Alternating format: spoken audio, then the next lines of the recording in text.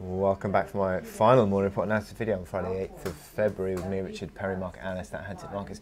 Going to look at gold, which is again, as I sort of reiterated yesterday, it's corrected back into this um, pivot band, the long-term pivot band, 1300 to 1310, and seemingly at the moment is forming a basis of support, but the market is still corrective near term. It's important to, to still consider that because the fact is that RSI sort of fallen over, MACD lines have crossed lower, stochastics are still tracking lower, but within this uptrend, which comes in around 1293 today, um, but within that, there is a, a, little trend lower that you can start to draw in um, in the last sort of few days as the market is drifting lower.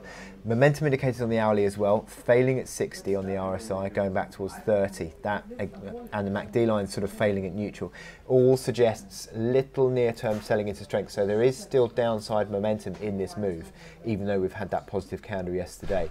But support, obviously on a long-term basis at 1300, but on a near-term basis, the breakout support is 1298.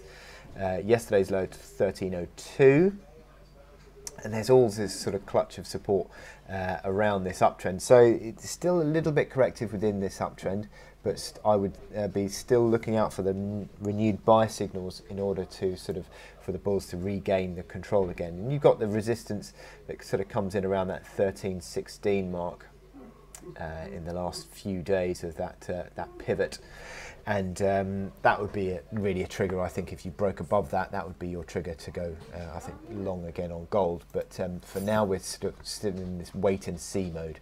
And I wish you good luck in your trading, and I'll speak to you again next week.